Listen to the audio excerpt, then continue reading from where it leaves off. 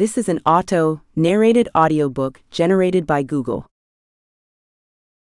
America's Philosopher John Locke in American Intellectual Life. By Claire Rydell Arcenas. Published by the University of Chicago Press. For my parents. And for Scott.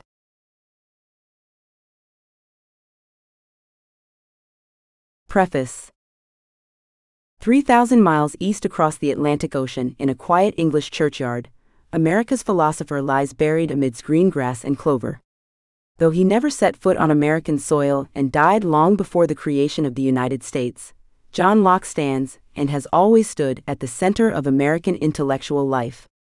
In this book, I explain how and why a 17th century English philosopher has captivated our attention for more than three centuries exerting an unparalleled influence on the development of American thought and culture.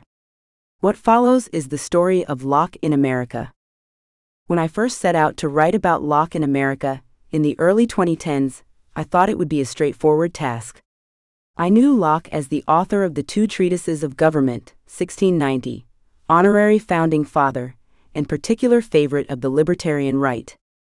And everything I read, heard, and saw from Louis Hartz's The Liberal Tradition in America, 1955, to episodes of Parks and Recreation, 2009 15, suggested that Americans had always known him as such. Effortlessly packaged as an adjective, Lockean, Locke seemed to have inspired an American political tradition that continued uninterrupted across the centuries.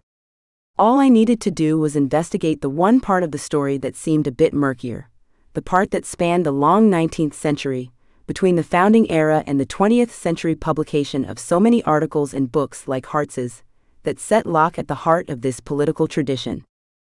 As soon as I started asking questions about Locke's legacy in America, however, I discovered something unexpected. The Locke I knew and thought I would find in the historical record was missing. He was nowhere to be found. And the text I thought defined Locke's relevance, his two treatises, was conspicuously absent as well.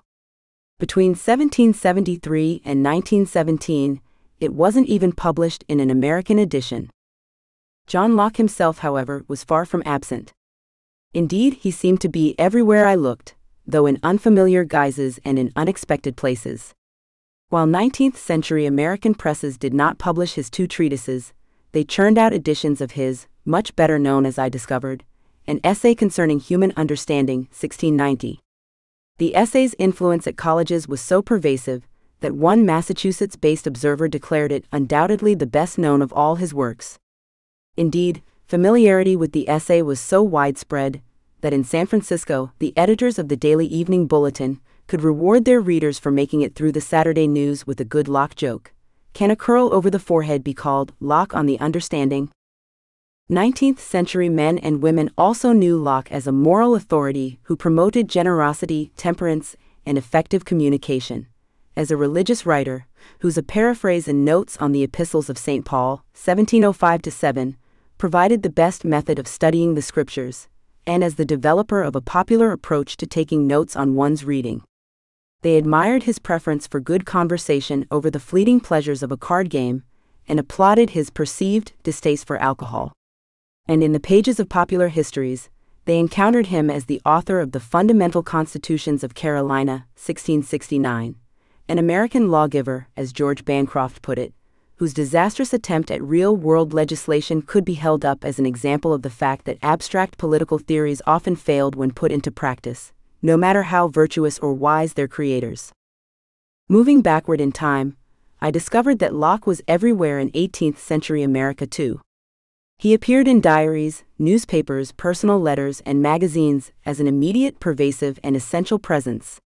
He taught both men and women how to raise children, cultivate friendships, rise above controversy, retain knowledge, form neighborhood associations, and make sense of their everyday experiences through empirical reasoning. And his reasonable Christianity and persuasive arguments in favor of toleration provided sustenance and inspiration for generations of Americans seeking a more enlightened, hopeful future free from persecution and religious strife. This Locke, the great Mr. Locke, who taught mothers to immerse their toddlers in ice water, urged young men away from frivolous pursuits and directed old ministers back to their Bibles, was relevant in ways unfathomable today. We hope you enjoyed this preview. To continue listening to this audiobook on Google Play Books, use the link in the video description.